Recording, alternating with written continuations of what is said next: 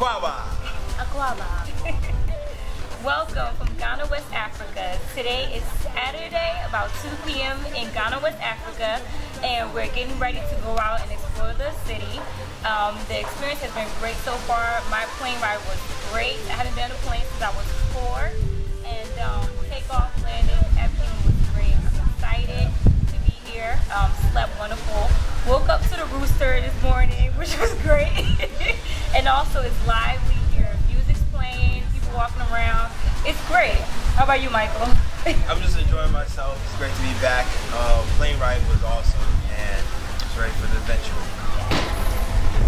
Very excited. Yes, you could say I got to give myself a massage on the uh, the airline at Amsterdam, so that was wonderful. Uh, came here, people are lovely uh, here with Desmond and Michael's family, and they're so lovely and welcoming, and I'm ready to see what's next. yes.